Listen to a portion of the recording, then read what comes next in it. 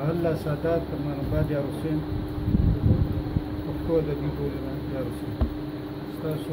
ډېره مننه کوم چې په دې موسم کې راغلی دلته هم ځان نه ورسوم د یو دوه شعر دي لږ دا غونته کېږي خو به وایم رزق اوړو کې اوس د مالګې برابر هم نه دی رزق اوړو کې اوس د مالګې برابر هم نه دی نور بلها داسې خبرې دي چې ملا ماته کې او الله دې نه کړي زما ګل جانانا دا څه وایي الله دې نه کړي زما ګل جانانا دا څه وایي ادي واده چې ستا د مینې دوپا ماته کړي او دا یو دوه شعره نور دي چې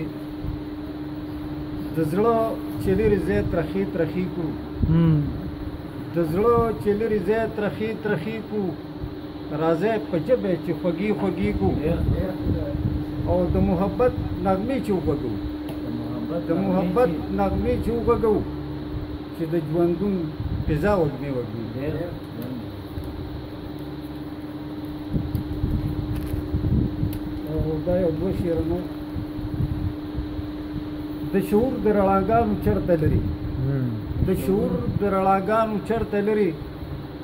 د حالاتو په تیارو کې روکېدل دي د شعور د رڼاګانو چرته لري د حالاتو په تیارو کې روکېدل دي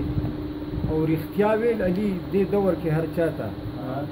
لیونی په خپل ځان پورې خندلي ډېر غزل پیش کوم چې د غربت باندې کګلې ما چی د غربت باندې کګلی یم سم دی په جون باندې وجلی یم او هغه خبره دی رښتیا وخته هغه خبره دی هغه خبره دی رښتیا وخته چې به ویل دی نازول یم او خزانه مرزه لک صبر وکا خزانه مرزه لک صبر وکا اوس یې ګلاب ګلاب کرلې ما دا بیا وای خزانه مرزه لک صبر وکا اوس یې ګلاب ګلاب کرلی یم او هیڅ یو ارمان مې د جون ونه ریږي هیڅ یو ارمان مې د جون ونه ریږي هر یو ارمان خرې جولې ما او د هغه دم نه تر دې دمه پورې د هغه دم نه تر دې دمه پورې هر چا په هر شکل لوټلې ما او لکه ازغې د جون په دشته باندې د کازغې د جون په دشته باندې د ګل په څنګه ټوکېدلې یمه ولی د جون تراخه به څنګه لیکم علي د جون تراخه به څنګه لیکم